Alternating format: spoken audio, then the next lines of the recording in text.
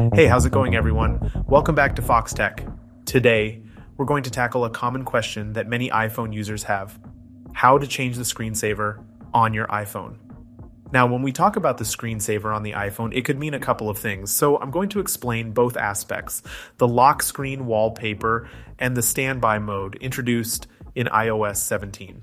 Let's dive right in and learn how to personalize your iPhone with custom lock screens and a smart display in standby mode. First, let's talk about the lock screen wallpaper, the one that appears each time you lock and tap your iPhone. Starting in iOS 16, Apple introduced the ability to create multiple lock screens, allowing you to personalize your iPhone in a unique way. To create a new lock screen, simply unlock your iPhone while staying at the lock screen. Now, touch and hold the screen until the lock screen wallpaper gallery appears. Here, you can choose from the featured wallpapers or suggested photos based on different categories. It's a great way to set a custom background that reflects your style and preferences. But we're not done yet.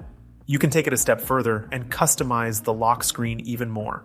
For example, tap on the time displayed on the lock screen, and you'll have the option to select a different font and color. This allows you to fine tune the aesthetics of your lock screen.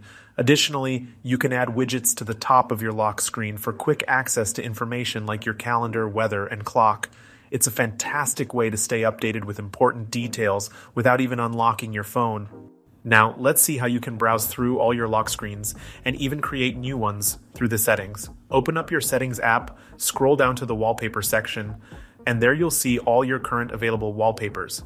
Simply swipe horizontally to go through your collection, and if you want to create a new one, just go all the way to the right. From there, you can customize both your lock screen and home screen wallpapers. It's a fun and easy way to give your iPhone a fresh look whenever you want. All right, now let's talk about standby mode, which is the other aspect you might mean when referring to the term screensaver on an iPhone. Standby mode was introduced in iOS 17 and it transforms your iPhone into a customizable smart display when connected to power and placed horizontally. This mode is automatically activated when your phone is connected to a power source like a lightning cable or a MagSafe charger. It allows you to make the most out of your iPhone while it's docked or charging. The best part about standby mode is the ability to customize the widgets displayed on the screen. You can choose from pre populated options like the clock, calendar, photos, and more. It's a handy way to keep track of your schedule, see your favorite memories in the photo widget, and access essential information at a glance. While standby mode supports some third party widgets, currently only Apple's widgets are available in this mode. Nevertheless, it still offers a convenient and visually appealing smart display for your iPhone. Another perk of standby mode is live activities, such as timers and delivery tracking, which are presented right on the screen for easy access.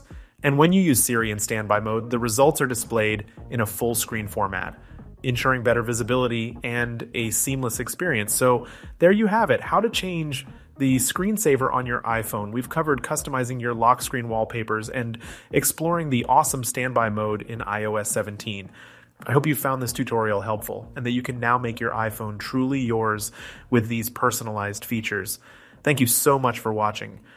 If you enjoyed this video and learned something new, don't forget to give it a thumbs up and consider subscribing to Foxtecc for more tech tips and tricks. As always, I appreciate your support. Until next time, peace.